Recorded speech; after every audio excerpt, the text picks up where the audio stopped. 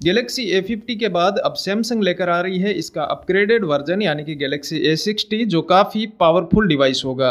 इसके स्पेक्स काफ़ी कमाल के होने वाले हैं और लगता है ये Redmi Note 7 Pro को भी पीछे छोड़ देगा। फ़िलहाल इसको लॉन्च होने में थोड़ा सा टाइम लगेगा, लेकिन इसके लीक्स निकलकर सामने आ चुके हैं। तो आज के इस वीडियो में हम Galaxy A60 के स्पेसिफिकेशंस प्राइस और लॉन्चिंग डेट के बारे में बात करने वाले हैं। तो देखते रहिए इस वीडियो को एंड तक। नमस्कार दोस्तों, मैं हूँ मेघराज और आप देख रहे हैं टेक मास्टर मुंशी तो चलिए बिना वक्त गंवाए शुरू करते हैं। एक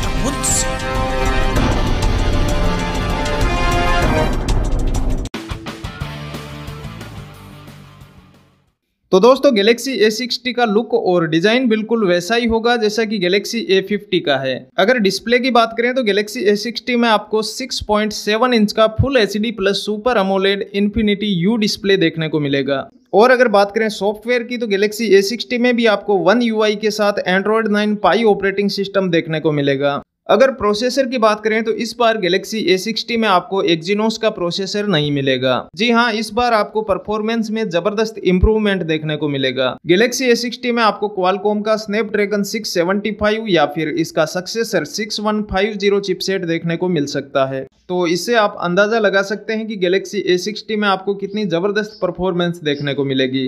खैर मेमोरी के आधार पर इसके दो वेरिएंट होंगे। पहले वेरिएंट में छह जीबी रैम और दूसरे वेरिएंट में आठ जीबी रैम होगी और दोनों में ही एक सौ जीबी इंटरनल स्टोरेज होगा। साथ ही इसमें आप पाँच जीबी तक का माइक्रो एस कार्ड भी लगा पाएँगे। अगर कैमरा की बात करें तो गैलेक्सी A60 में भी आपको ट्रिपल रियर कैमरा सेटअप देखने को मिलेगा। लेकिन इसका जो मेन सेंसर होगा वो 32 मेगापिक्सल का होगा। वहीं अगर प्राइस कार्ड की माने तो इसमें आपको 35 मेगापिक्सल का प्राइमरी सेंसर देखने को मिलेगा। और साथ में 5 मेगापिक्सल का डेप्थ सेंसर और 8 मेगापिक्सल का अल्ट्रा वाइड सेंसर होगा। और गैलेक्सी A50 की तरह इसमें भी आपको पोर्ट्रेट मोड स्लो मोशन और फास्ट मोशन जैसे फीचर्स मिल जाएँगे। वहीं सेल्फी के लिए इसमें 32 मेगापिक्सल का फ्रंट कैमरा होगा। साथ ही ऑटो फोकस लाइव फोकस और ब्यूटी मोड जैसे फीचर्स भी मिल जाएँगे। तो कुल मिलाकर गैलेक्सी ए में आपको काफ़ी शानदार कैमरा देखने को मिलेगा। कनेक्टिविटी के लिए इसमें dual 4G VoLTE WiFi hot spot Bluetooth version 5.0 GPS AGPS 3.5 mm का ऑडियो जैक और यूएसबी टाइप सी पोर्ट होगा। और अगर बैटरी की बात करें तो गैलेक्सी A60 में आपको 4500 mAh की दमदार बैटरी देखने को मिलेगी।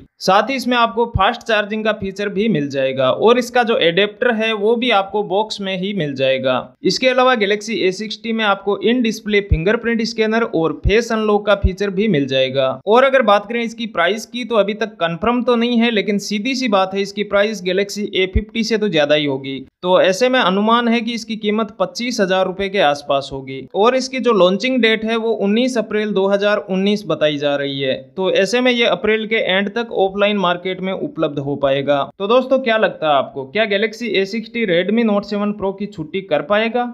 अपने राय मुझे कमेंट बॉक्स में ज़रूर बताइएगा। मैं मिलता हूँ आपसे बहुत जल्द एक नए वीडियो के साथ। तब तक के लिए गुड बाय